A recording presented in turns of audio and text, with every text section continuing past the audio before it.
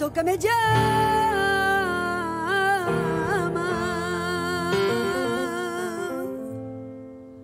Hay como un torbellino.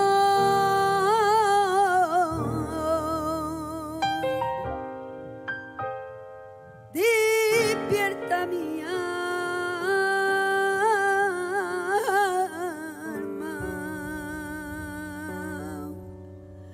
Quiero que sienta.